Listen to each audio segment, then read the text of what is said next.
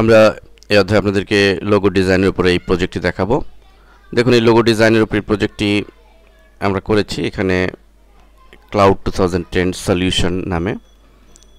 তো এই ডিজাইনটির টেকনিক্সগুলো আমরা আগে বুঝে নিব। দেখুন, প্রথমে আমি ক্লাউড একটি ফন্টে লিখেছি মায়রাট এবং টু থাউজেন্ড টেন আর একটি ফন্টে এরিয়াল ব্ল্যাক ফন্টে লিখেছি, এবং সলিউশন আমরা মায়রাট ফন্টে লিখেছি। এখন আমরা প্রথমে এই লেখার কাজগুলো সম্পন্ন করব। তো প্রথমে আমরা ক্লাউড লেখাটিকে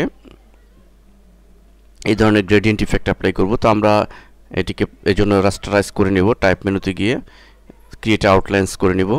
তাহলে এটি রাস্টারাইজ হবে এবং এটিকেও আমরা যেহেতু আমরা ইফেক্ট দিব এই জন্য আমরা এটিকে ক্রিয়েট আউটলাইন করে নিব। দুটি লেখাকে আমরা ক্রিয়েট আউটলাইন করে নিলাম। এখন আমরা গ্রেডিয়েন্ট ইফেক্ট অনায়াসে দিতে পারব। এটি সিলেক্ট করে আমরা গ্রেডিয়েন্ট চলে যাব। ক্লিক করব এবং এখানে ব্ল্যাক অ্যান্ড হোয়াইটের একটা গ্রেডিয়েন্ট পড়েছে। কিন্তু আমরা এই ধরনের গ্রেডিয়েন্ট যদি যদি পেতে চাই, প্রথম স্লাইডার এভাবে সিলেক্ট করব। এই পয়েন্টে ক্লিক করে আর জিবি সিলেক্ট করব এবং ঠিক সেম কালারটি যদি পেতে চাই, এখান থেকে এভাবে সিলেক্ট করে নিব। এবং এটি ব্ল্যাক রয়েছে, আমরা এটি আবার আর জিবি দিয়ে এটি নেভি ব্লু দিলাম। তাহলে আমরা অ্যাজ ইট ইস কালারটি পেয়ে যাব। আমরা গ্রেডিয়েন্টকে একটু চেঞ্জ করে দিলে, এভাবে স্লাইড যদি উল্টে দিই, তাহলে আমাদের এই ধরনের ইফেক্ট পড়বে। অর্থাৎ আমরা যেরকম করেছি টু থাউজেন্ড টেনে একই গ্রেডিয়েন্ট কিন্তু এখানে একটু ব্ল্যাক অ্যান্ড হোয়াইটের গ্রেডিয়েন্ট দেওয়া হয়েছে। তো আমরা এটি একইভাবে সিলেক্ট করব এবং এখানে black and white gradient apply করব।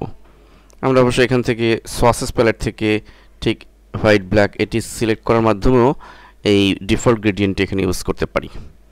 এবং এখানে আমরা রোড স্টক সিলেক্ট করে আমরা একটা ব্ল্যাক আউটলাইন দিয়ে দিব। এরপরে হচ্ছে সলিউশন সলিউশন লেখাটি দেখুন, একটু স্পেস দেওয়া হয়েছে, আর কিছু নয়। আমরা ডাবল ক্লিক করে প্রতিটা অক্ষরের মধ্যে একটা করে স্পেস দিব।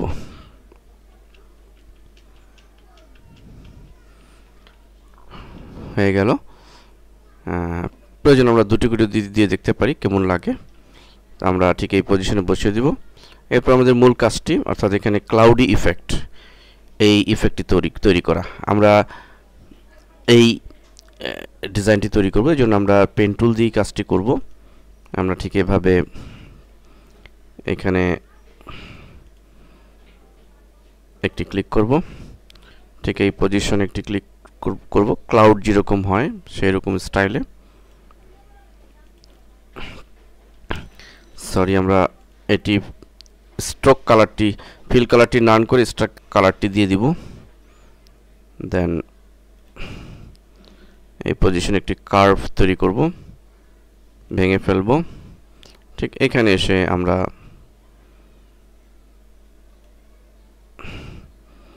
আরেকটি কার্ভ তৈরি করব।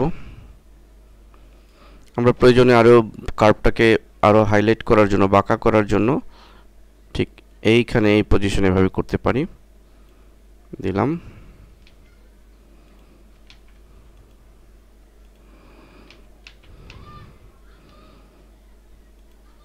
অল্টার চেপে ধরে নিব কার্ভ করার জন্য। এরপর এইখানে আমরা আরেকটি কার্ভ তৈরি করলাম। এখানে কার্ভটিকে আমরা আর একটু নিচের দিকে দিই, তাহলে আরও রিয়েলিস্টিক হবে। অল্টার চেপে ভাঙলাম।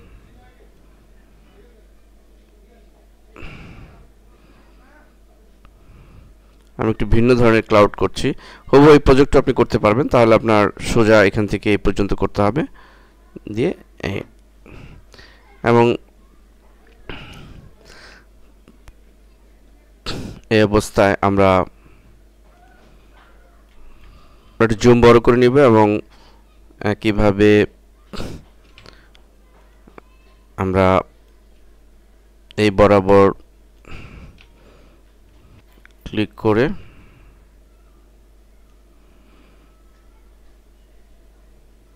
দিলাম, অল্টার চেপে ভাঙলাম, আবার এই বরাবরে ক্লিক করে এখানে একটি কার্ভ করলাম এবং এই বরাবরে ক্লিক করে, ওকে, এখন অল্টা চাপতে হবে না, এখন আমরা জাস্ট এই সিলেক্ট করে এই স্ট্রক কালারটিকে নান করে দিব। ফিল কালারে আমরা এই গ্রেডিয়েন্ট অ্যাপ্লাই করব।